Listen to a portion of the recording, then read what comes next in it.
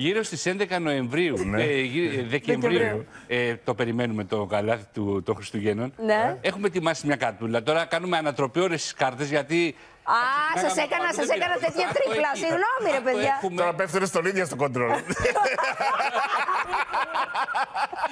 ορίστε, ορίστε. Χριστουγεννιάτικα, Α, ξέρεις. ε, ακούς, δεν πειράζει, παιδιά από πάνω. Δεν Δεν πειράζει, πειράζει. Και η θέλετε. Μαρία και λοιπά. Λοιπόν, προσέξτε.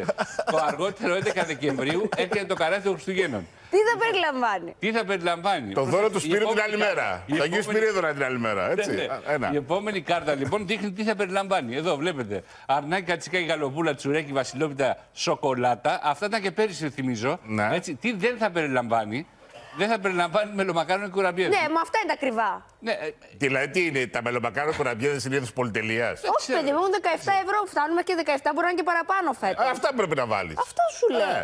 Ε. όλα αυτά πάντως που θα περιλαμβάνει το καλάθι του Χριστουγέννου ή το καλάθι του Άι Βασίλη. Το καλάθι του Άι Βασίλη ακόμα το εξετάζουν αν θα βγει. Πιθανότατα θα βγει από ό,τι μας λένε οι πληροφορίες μας από το Υπουργείο Ανάπτυξης. Ε, θα το δούμε όμως την επόμενη. Ποιο είναι εβδομάδα. στο Υπουργείο Ανάπτυξης υπεύθυνος για το καλάθι. το Ο περιεχόμενο; κύριος Θεοδωρικάκος. Α, ναι. Βεβαίως. Εγώ πάντως να ξέρετε, παιδιά, όταν πηγαίνω στο σούπερ μάρκετ, όλα τα καλάθια κοιτάζω. Ναι, αυτό ακριβώς. Γιατί αφού είσαι τα αυγά και τα καλάθια. καλάθια, ακριβώς. Κοιτάζεις τα καλάθια. Λοιπόν, τέλος πάντων, 11 Δεκέμβρη έρχεται. Α δούμε πόσο θα επιδράσει θετικά στη ζωή των ανθρώπων.